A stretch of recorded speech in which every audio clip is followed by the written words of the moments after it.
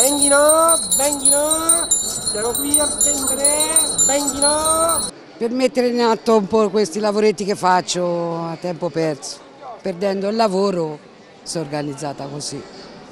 Un'occasione per guadagnare. E per rimediare almeno una giornata si diverte anche, si sta un po' in compagnia fra la gente, fra gli amici e poi in contributo se rimane qualcosa in più si dà in beneficenza. Non può essere solo la crisi economica che pur morde anche ad Arezzo a muovere centinaia di aretini e non solo a partecipare al grande mercatino delle pulci.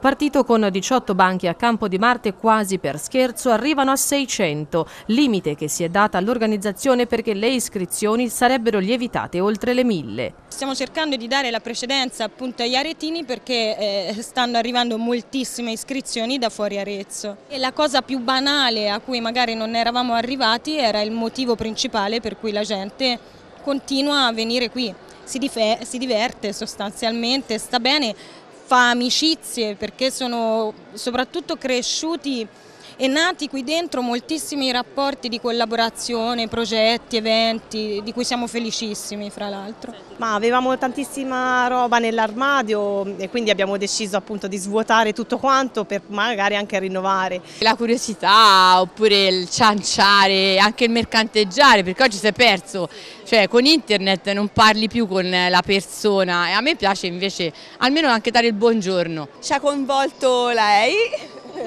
ci ha tirato dentro. Siccome pensavamo a questa cosa come un progetto futuro, è diventato immediato. È la condivisione di una giornata bella insieme, no? Soprattutto per questo, per passare una giornata insieme, in compagnia. Non c'è una stima precisa del volume d'affari, ma i visitatori si aggirano intorno ai 10.000 avendo tre figli può essere una cosa interessante sia per giochi che per abbigliamento. Magari prendere delle cose vecchie, riusarle, insomma anche per un fatto ecologico. Nuova vita agli oggetti che magari sarebbero stati buttati.